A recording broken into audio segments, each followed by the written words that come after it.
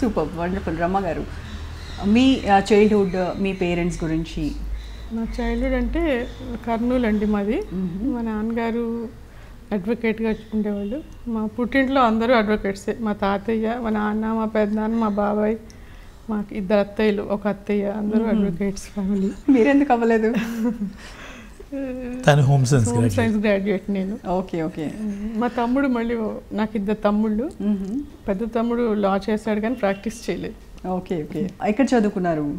నేను టెన్త్ వరకు కర్నూలులో చేశాను. తర్వాత inter two years Anantapur Satsai స్వా- కాలేజీలో చేశాను.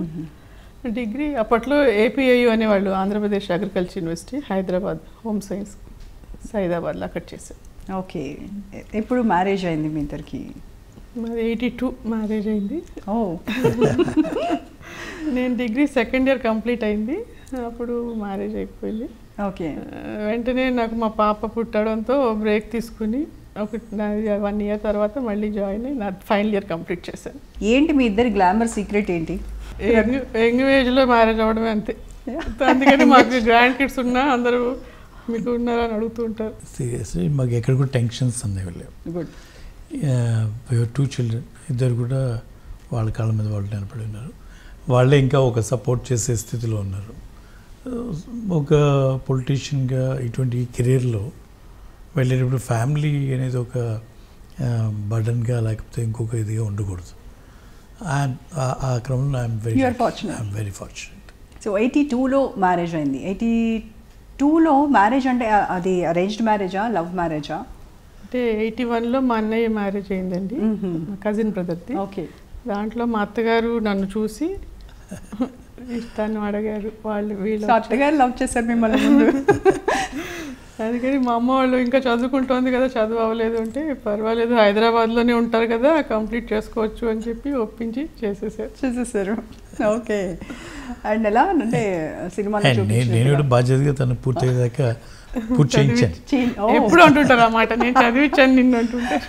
ఓకే మీరే చదివించి పెద్దవాళ్ళని చేశారనుకుంటా. Good good. అంటే ఆడపిల్లలు చదువుకోవడం అనేది చాలా అవసరం అనేది. ఇప్పుడు కూడా నాన్నగారి దగ్గర నుంచి చెప్తుండేవారు. అండ్ బాపట్ల ఎడ్యుకేషన్ సొసైటీ వ్యవస్థాపకులుగా ఆ రోజు బాపట్లో ఇంటర్మీడియట్ దగ్గర ఉండేది. I'm talking about sixty two చీరాలకు వెళ్ళి చదువుకోవాల్సి వచ్చేది డిగ్రీ చదవాలంటే. సో ఆడపిల్లలు వెళ్ళి అక్కడ దాకా వెళ్ళి చదవటం అనేది కుదరక అక్కడితో ఆపుతుండేవాడు అది నాన్నగారు పర్టికులర్గా ఆడపిల్లలు చదువుకోవాలి అనే దాంట్లో ఆయన ఒక ఎడ్యుకేషన్ ఇన్స్టిట్యూషన్ స్టార్ట్ చేశారు. So we know very well the value of the education తప్పకుండా చదువుకోవాలనేది ఆ క్రమంలోనే తను గ్రాడ్యుయేట్ అయ్యేదాకా ఆ, కొన్ని ఇబ్బందులు ఫస్ట్ చైల్డ్ మేము ఆడుకోకుండా తొందరగా పుట్టింది. అయినా సరే తను కూడా చాలా చాలా పట్టుదలగా. తను ఎప్పుడు ఫస్ట్ నుంచి గోల్డ్ మెడలిస్ట్ అది చదువుకునింది. So I supported she complete okay graduation మా నాన్నమ్మ కూడా చాలా పర్టికులర్ అండి తను.